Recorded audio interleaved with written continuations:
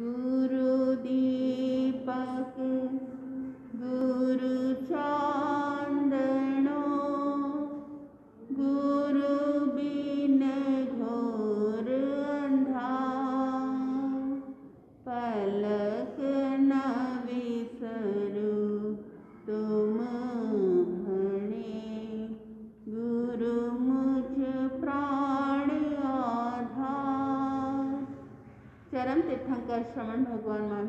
चरणों में कोटिश बंधन एक भव अवतारी चर्चा चक्रवर्ती, भीष्म प्रतिज्ञाधारी, अखंड बाल ब्रह्मचारी, आचार्य सम्राट पूज्य श्री जयमल जी माता के चरणों में कोटिश बंधन उन्हीं के ग्यारहवें पटदल, संघ सुमेरु, सरल मना, प्रशांत चेता, आचार्य सम्राट श्री शिवचंद्र जी महाराज साहब, बारहवें पट्टेदर आचार्य प्रवर श्री पाशुचंद्र जी महाराज साहब, एस एस जैन समनी मार्ग के प्रारंभकर्ता अणुपीहा ज्ञान प्रणेता, प्रवचन प्रभावक मेरे जीवन उद्धारक पूज्य गुरुदेव डॉक्टर श्री पदम चंद्र जी महाराज साहब को वंदन करते हुए सभी गुरु भगवंतों को वंदन करती हूँ।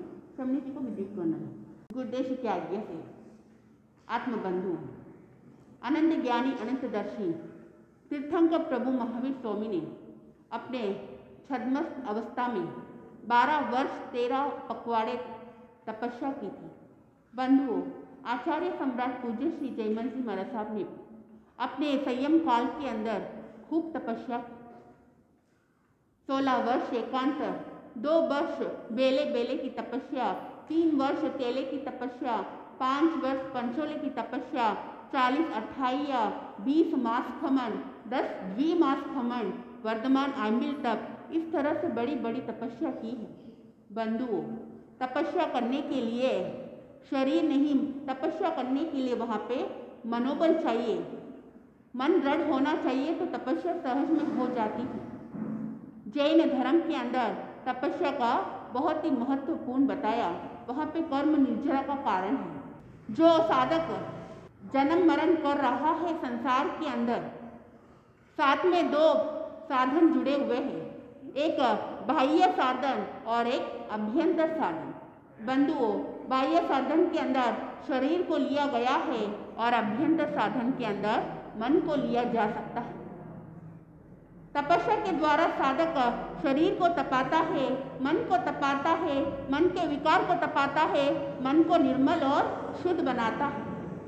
पूर्व उपार्जित जो कर्म होते हैं, उन कर्मों को समूल नाश करने के लिए एक साधन बताया है तप। तप किसे कहते हैं? तप यानी त यानी तत्काल, प यानी पवित्र, जो तत्काल पवित्र हो। पंची के ऊपर जब धूल लग जाती है। उसको उड़ना है तो वह क्या करेगा? पंछी अपने पंखों को झाड़ेगा। बंधुओं, यह कर्म को झाड़ने का क्रिया है। वहाँ तप तपस्या दो कार्य करती है। एक है, वहाँ पे आत्मा को उज्जवल बनाती है। बंधुओं, एक तो तपना और एक प्रकाशित करना, जो आत्मा को उज्जवल बनाती है। जैसे कि अगर सोना को शुद्ध बनाना है तो उसको क्या करना है? अग्नि में तपाना पड़ता है। जब वो अग्नि में तपती है, तब वह सोना शुद्ध बनता है। और एक शरीर के अंदर ऊर्जा पैदा करती है, यानी प्रकाश देती है। बंधुओं जब आत्मा को तपाना है तो शरीर को क्यों तपाया जाता है? एक प्रश्न खड़ा हो सकता है। क्योंकि बिना शरीर को तपाए, वह आत्मा तप नहीं सकती है। उदाहरण के तौर पे, जैसे कि सोना को तपाने के लिए वहाँ पे अग्नि साधन है। बंधुओं, दूध को गर्म करना है। तो दूध गर्म करने के लिए वह मेटेरियल की आवश्यकता होती है, भाजन की आवश्यकता होती है। अगर बिना भाजन दूध को अगर आप गैस के ऊपर डाल सकते हो क्या? नहीं डाल सकते हो, वहाँ दूध भस्म हो जाएगा। ठीक इसी प्रकार बंधुओं शरीर को तपाए बगैर आत्मा तप नहीं सकती है। तपस्या क्यों करनी चाहिए? आत्मा शुद्धि के लिए तपस्या की जाती है। वहाँ पे तपस्या स्व इच्छा से की जाती है। अपने इच्छाओं का निरोध करने के लिए। बंधुओं, किसी साधक को अगर आप फोर्स करोगे कि तपस्या करना है, अगर उसकी इच्छा होगी और वह सहज पूर्वक तपस्या करेगा तो उसको लाभ की प्राप्ति होगी, उसके कर्मों की निर्जरा होगी। लेकिन अगर उसने अपनी इच्छा के से तपस्या नहीं की, किसी ने कह दिया, ज़बरदस्ती कर दिया, और उसने तपस्या कर भी ली बंधुओं वहाँ पे टाइम गिनता जाएगा कि ये दिन पूरा कब कैसे होगा, और वहाँ पूरे समय टीवी देखने में खेल कूद में में अपने समय व्यतीत कर लेगा, क्योंकि अपने मन से वहाँ तपस्या नहीं की है। किसी के कहने पर वहाँ फोर्सफुल्ली उसने की है। बंधुओं वहाँ बेचैनी रहेगा कि कब सुबह होगी, कब नौकर से आएगी और कब मैं वहाँ पारना करूँगा। जहाँ पे भजन करने का समय रहेगा, वहाँ पे जब तक करने का समय रहेगा, उसकी जगह पे उसको भोजन याद आएगा, क्योंकि वहाँ पे स्व की इच्छा से नहीं की जाए तप है। बंधुओं, जो साधक स्व की इच्छा से करता है तो वहाँ पे वांछित लाभ की प्राप्ति होती है। पाँच आचार बताए। उसमें एक आचार है तपाचार दस एति धर्म के अंदर एक बताया है। तब बंधुओं, आहार छोड़ने के छह कारण बताए गए जब भयंकर रोग की उत्पत्ति होती है उस समय आहार छोड़ा जाता है। बंधुओं, जब आकस्मिक उपसर्ग आ जाता है, उस समय आहार छोड़ा जाता है और ब्रह्मचर्य की रक्षा के लिए आहार छोड़ा जाता है। प्राणी दया, जीव दया के लिए आहार छोड़ा जाता है और तप भी, तप के कारण से भी आहार छोड़ा जाता है। संधारा लेता है इंसान, जब अंतिम समय के अंदर उस समय भी आहार छोड़ा जाता है। तो जो आहार छोड़ने के छह कारण बताए हैं, उस छह कारण के अंदर एक तपस्या भी कारण बताया गया है। बंधुओं जो तप है, वो जन्म जन्म के ताप को मिटाने वाली है। तीन शब्द आते हैं। तप, ताप और संताप। तप जो कर्मों को क्षय करता है। ताप ताप यानी, अब किसी को बुखार आ गया, वह क्या करेगा? वह डॉक्टर के पास से जाएगा डॉक्टर वहाँ पे दवाई दे देगा, फिर वो उस दवाई को ले लेगा। समय समय पर वापस बुखार ठीक हो जाएगा। लेकिन वापस बुखार आया तो वो वापस डॉक्टर के पास जाएगा। तो ये ताप है, जो बुखार को भी ताव कहते हैं गुजराती भाषा में, और एक ताप है। बंधुओं एक जो ताप है, इस ताप को जन्म जन्म के लिए मिटाना है। वह मिटाने के लिए एक साधन है तप।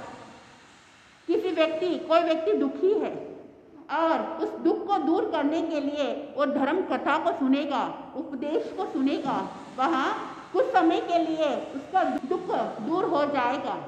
तो वहाँ पे वह बुखार के समान है। लेकिन जन्म जन्म के लिए जो दुख आया हुआ है, स्वयं के कारण से जो क्रिएट किया है, उस दुख को मुक्ति पाने के लिए, उस दुख से हमेशा के लिए छुटकारा पाने के लिए, बंधुओं, ऐसी दवा को लेना है, जिस दवा के कारण से पुनः वहाँ पे ना बुखार आए और ना कोई दुख आए।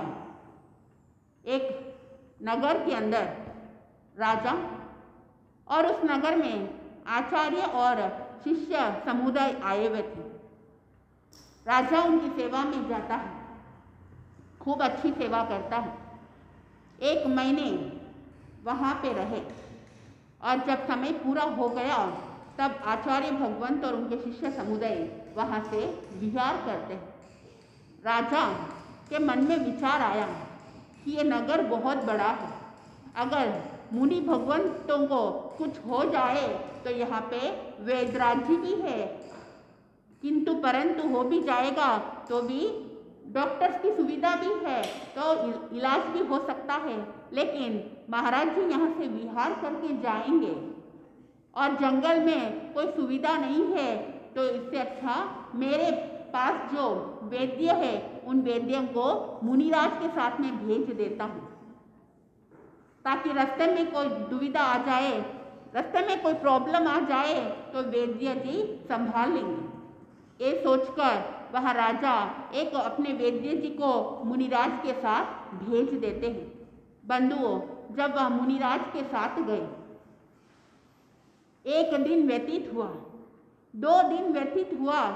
आचार्य भगवत ने उस वैद्या जी के पास कोई शिकायत नहीं की। इस तरह से करते करते पूरा एक महीना हो जाता है। वेद्य वेदराज जी ने सोचा, क्या बात है? क्या मुनिराज के पास पहले से कोई औषधि है? या उनको कोई तकलीफ़ हुई होगी? उन्होंने बताया भी नहीं होगा। वेदराज जी के मन में शंका आ जाती है।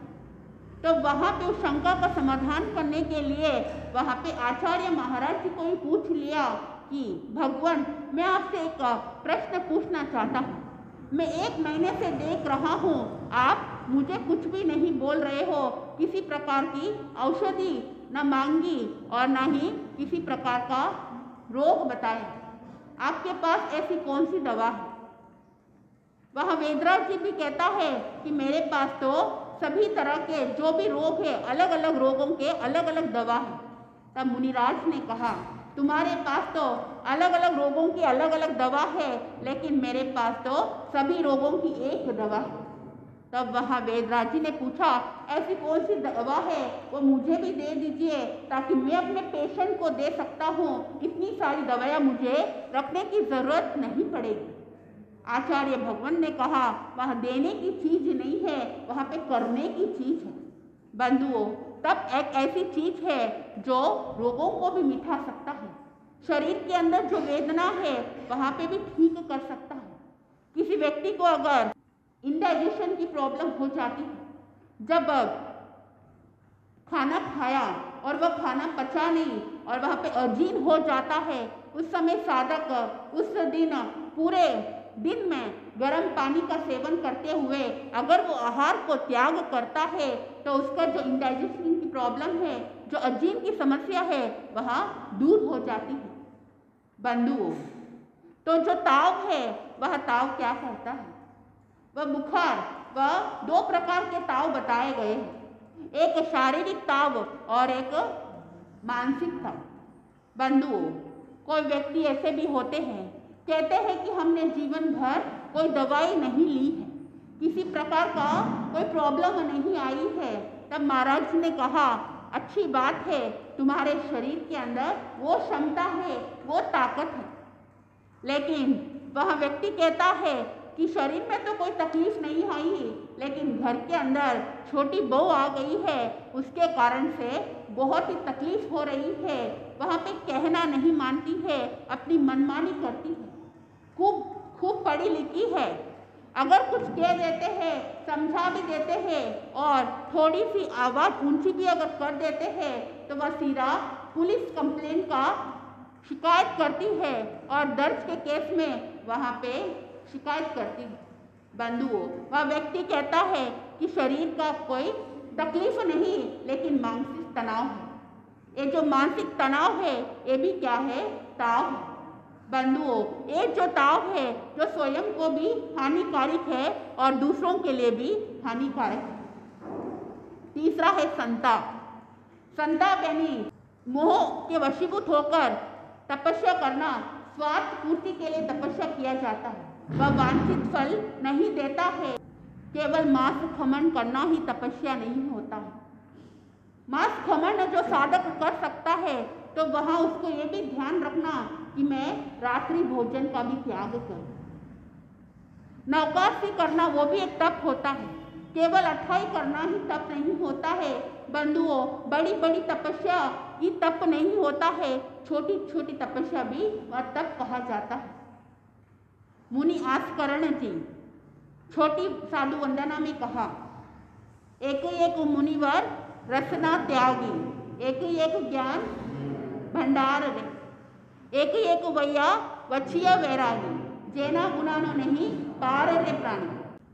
एक एक रचना को त्याग कर देते हैं। जो ज्ञान का अर्जन करते हैं, जो स्वाध्याय करते हैं, जो सेवा करते हैं, वो भी क्या बताया है? तब की श्रेणी में बताया गया है। छह प्रकार के जो तप है, वह बाह्य तप है और छह प्रकार के तप अभ्यंतर तप है। टोटल बारह प्रकार के तप बताया गया है। सबसे पहला आता है अनशन। अनशन यानी नवकार सी लेख से लेकर कोरसी उपवास, जो भी तपस्या करते हैं, वह अनशन की श्रेणी में आता है। अगर किसी को अगर उपवास नहीं होता है तो वहाँ पे कुछ घंटे के लिए वह अन्न का त्याग कर सकता है। जैसे एक बजे उसने भोजन ग्रहण कर लिया, उसके बाद वापस पाँच बजे अगर भोजन ग्रहण करेगा तो एक से पाँच बजे के बीच में जो टाइम पीरियड है, चार घंटे का, वह चार घंटे को आहार का त्याग करना, वो भी क्या कहा गया है? अनशन कहा गया है। बंधुओं, अनशन के अंदर एक अल्पकालिक अनशन होता है। जो नियमित समय के लिए त्याग किया जाता है और एक अनशन होता है, वहाँ पे जीवन पर्यंत के लिए होता है। जीवन पर्यंत के लिए जो आहार का त्याग करते हैं, उसको संधारा कहा जाता है।